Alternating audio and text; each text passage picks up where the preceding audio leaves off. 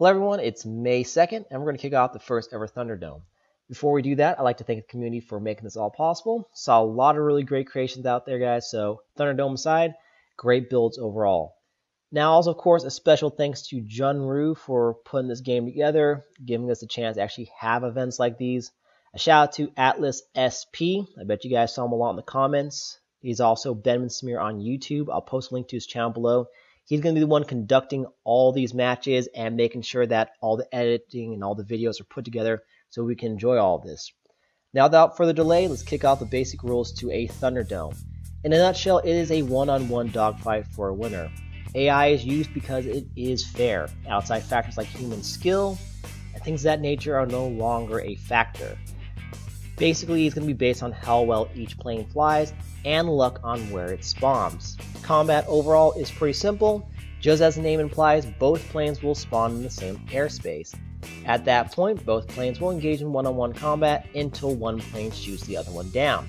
Now this is also going to include things like flat spins, stallouts, and of course damage sustained in a dogfight. If a wing gets blown off, you lose an engine and the plane goes down because of that, that of course is considered a win for the other plane. Now, if a plane spawns into a mountainside, you know, it does that, that happens at times, that match of course can be thrown out. Now, you can also have environmental wins.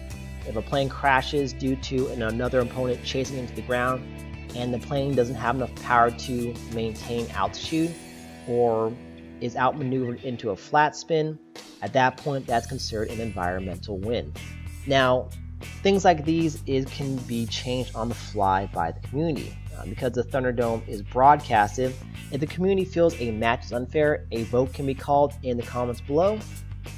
And other than that, guys, the matches are going to be pretty straightforward. I'd like to thank you all again for the effort put in. Please stay tuned for when we release the matches. And, you know, like I said, Benman Samir, he's going to be working on these matchups. We have a lot of great entries. It's going to take some time, guys. Probably less than a week, but you know, we want to make sure that we're running each of these matches fairly. I know you guys put a lot of effort into these aircraft. I'm very impressed with some of the entries that we got here. Uh, I'm also going to be running the best of show also, so I'm judging each plane, like I said, fairly. Um, but other than that, hey, take care. I hope you all have a great weekend, and Echo Whiskey 11 out.